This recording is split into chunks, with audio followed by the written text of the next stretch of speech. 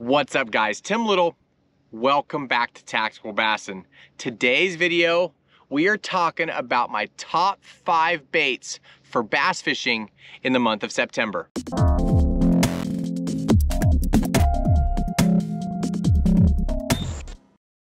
September bass fishing finally starting to cool off. You know, August is typically the hottest month of the entire year.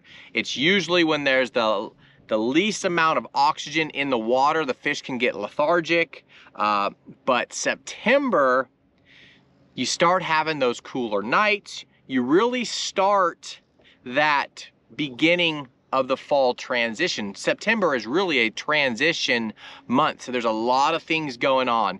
You got water level levels receding, you have water temperatures dropping, you have you know, you had the shad spawn, so you got tons of little bait fish, you got baby bluegill swimming around, and you have cool, cooler water and wind. This feels good. You know, coming off the month of August, been burning up. It's been hot all across the country.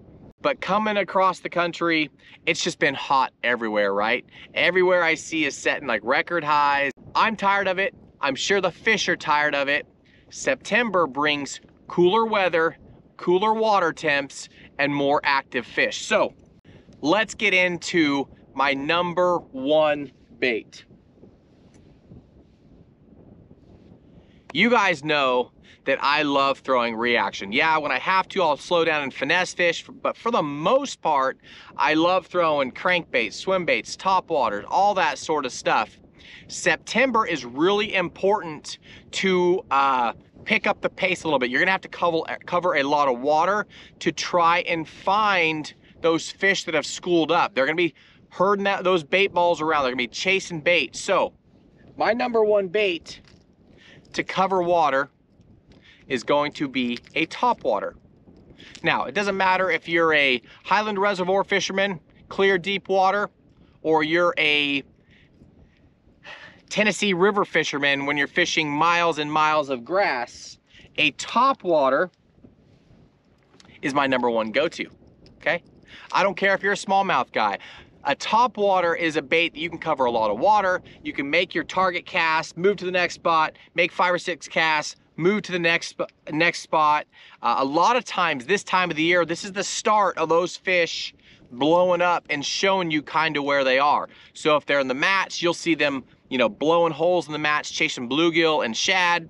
If they're uh, offshore, you'll see them blowing up out in open water on, on threadfin shad, on herring, depends on the type of bait you have in your fishery, but one way or another, those fish are gonna start showing themselves to you, and a top water is my number one bait. So this guy right here, gonna simplify it even more for you.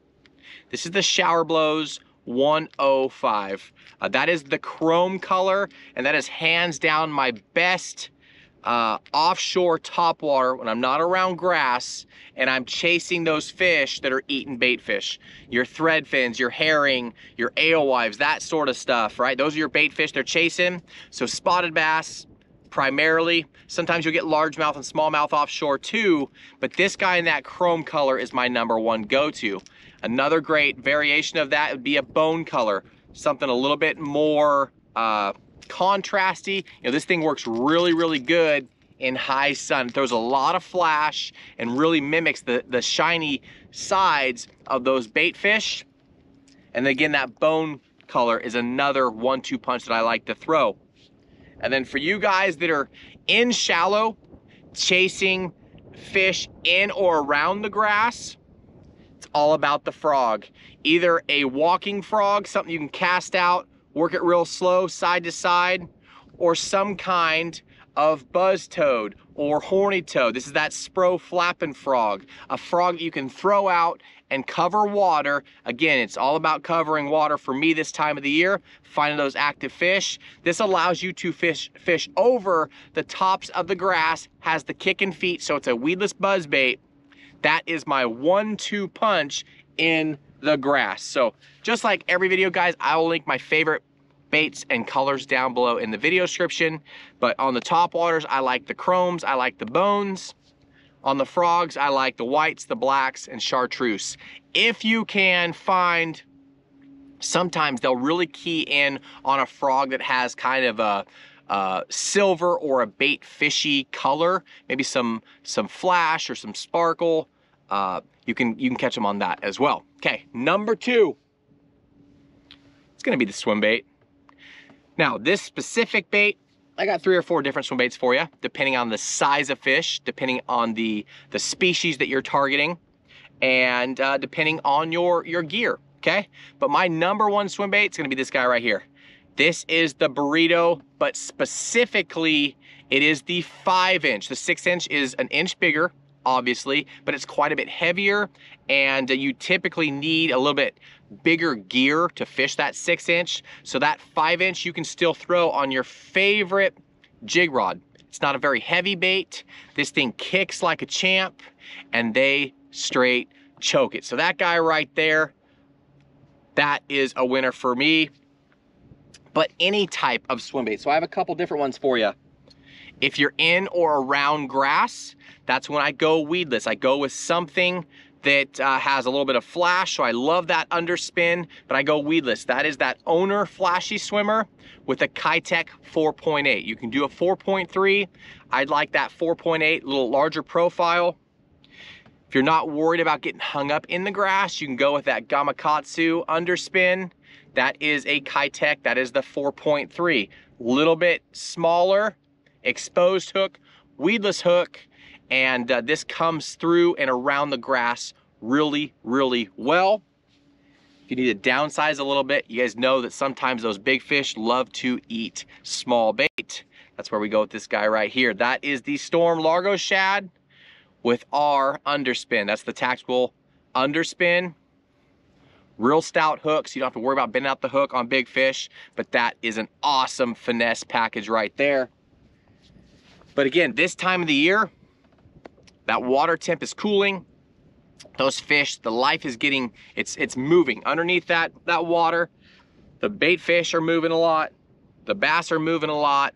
There's lots of things going on with grass. You have some grass dying off. You have fish pulling out of grass mats going into uh, cleaner, or more livelier grass, that greener stuff. So look for that.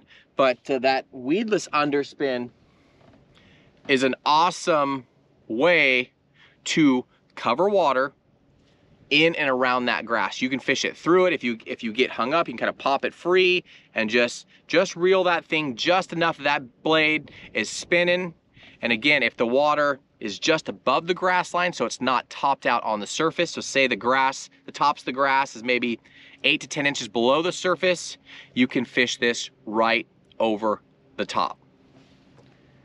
All right, two down, three to go. Number three,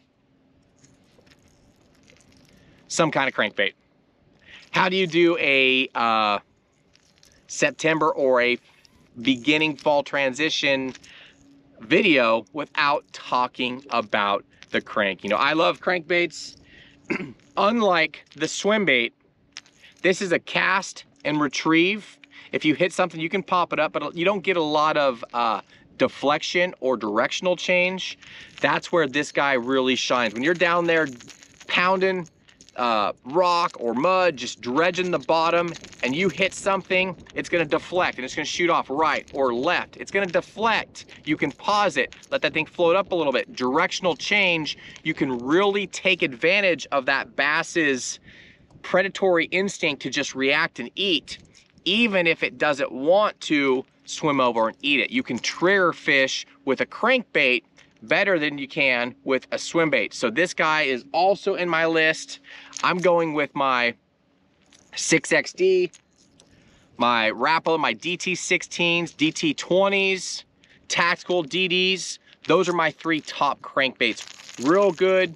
This is a real aggressive wobble. This is a real tight wobble, more of a finessey bait fish profile or action. Uh, and then that DT is a great bait, especially for forward-facing sonar. It's not a high float bait. So if you wanna get that bait down to 16 foot or 20 foot, get it down there in those treetops and then pause, that thing's just gonna sit there. It's not a real high float. It's just gonna sit there and suspend and it just drives those fish crazy. But a crankbait, you can get down there, deflect, get those directional changes, and really trigger those fish into eating. Same goes for up shallow. Now, if you're socked in with grass, it's really, really hard to throw uh, a, a square bill. But if you have lanes or if you have depth over the tops of the grass, you can be uh, really, really effective with throwing a square bill. Just get it down there, taking the tops of the grass, popping it through, letting it float back up, getting real aggressive with these, okay? River to Sea Biggie, awesome square bill. Real loud knock, Bill Lewis ATV. Fairly quiet. This bait really, really impressed us this year. It is virtually, I'm not gonna say virtually, it's really, really hard to get this thing hung up. We threw it through tree branches, we threw it all over the place, purposely trying to get it snagged, and it just comes through the cover really, really well, especially with those EWG hooks on it. Um, it's just one of those things that when those fish are up shallow, they're chasing bait. You can cover a ton of water. You can move that thing really quickly. I'm throwing it on a seven, both the cranks, deep or shallow, seven or an eight to one gear ratio reel. I'm burning, burning, burning, burning, pause. Burning, burning, burning, burning, hit grass, rip, rip, pause. I'm getting real aggressive to get those directional changes, but a crankbait is an awesome bait, and that's why it's in number three on my list. Now, if you find yourself in that scenario where you have fish up shallow and you can see them either blowing up on the bait or maybe they don't want to come up to the surface, but you can see them chasing bait, you see boils or whatever, that's where I go with this guy right here. My number four bait, a chatterbait, okay? Doesn't have to be the jackhammer. I love the jackhammer. It could be the, the cross eyes. It could be the original chatterbait, but some kind of bladed jig, either in a flashy bait fish color or a craw color. That goes for my, uh, my cranks as well. Bait fish colors, ghosty colors. Uh, if there's a little bit of stain in the water, I'll go with my chartreuse and blues. But for the most part, I'm mimicking bait fish. So craw patterns or bait fish. Again, that is the Yamamoto Zako. And that is the Spunk Shad. An awesome, awesome trailer on a chatterbait. This guy right here comes through the grass really well, especially with those uh, real stout hook guard really, really weedless. So I really like that guy. Again, I'm going fast. I'm in and around that grass. If I get that chatterbait hung up in the grass, I'm, I'm ripping it out. And a lot of times that's when you're going to get that rod load up and you've got the fish on. As that thing kind of slingshots out of the grass, a lot of times that's when you get bit on the chatterbait. So if you're a shallow guy and you can't fish the square bill, try the chatterbait. Now, last but not least, my number five bait or my number five category for catching bass in the month of September is going to be a jerk bait. Believe it or not, I did not put a finesse technique in my top five. Again, it's specifically because these fish are active. They are up, they are chewing, uh, they are trying to eat as many bait fish as possible. So why not take advantage of, you know, covering water, finding those those active fish and just loading the boat, right? You don't want to sit there and just, I mean, you might have to. You try these five and, and six and seven and eight and nine, maybe your 10th choice might be a Ned rig. It might be a shaky head or a, a wacky rig Senko, right? But five, it's all reaction for me. So two different scenarios, just like the square bill, if you can get around docks, uh, get around hard cover, laydowns, shallower rock, I'm going with a traditional jerk bait. Whew, this wind feels good. Hopefully I'll be able to edit it out on the computer and take some of this wind out if it's bad. Um, but I tell you what, man, it feels good after it's been blazing hot all day. If you're uh, in or around the grass, so you find yourself in the chatterbait situation or the frog situation, you got to go with the weedless jerkbait. Either the Zoom, the Super Fluke, X-Zone has an awesome one, Yamamoto has an awesome one. I'll link my favorites down below in the video description.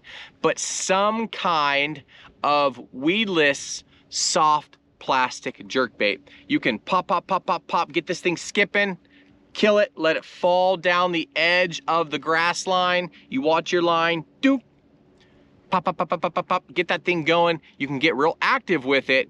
But again, these fish are in that grass. They're in that lively grass. And sometimes it's a pain to try and fish a lot of hooks around that grass. So that is where I absolutely love throwing a fluke or a version of a fluke, a soft plastic jerkbait. Again, you can let it fall down in that grass. You can work it as aggressive or as slow as you want, and the fish just come out and eat it. Guys, that's it. That's my top five baits for the month of September. Remember, it's a transition month.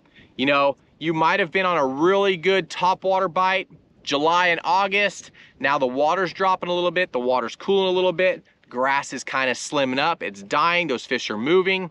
You might have to go subsurface. Go with your crankbait, go with your flashy swimmer or your soft jerk bait. But these five baits consistently catch fish throughout the country, no matter which lake or fishery I'm on. A one of these or a version of these have caught fish for me all across the country. Down below in the video description, I will link my favorite uh, baits in each category, colors, hooks, all that good stuff, gear, rods, reels, all that good stuff that you will need to fish these baits properly. But that's it. That's my top five baits for the month of September. Remember, cover water, find those active fish, and you could have the best day of the entire summer right now. Guys, we appreciate the support.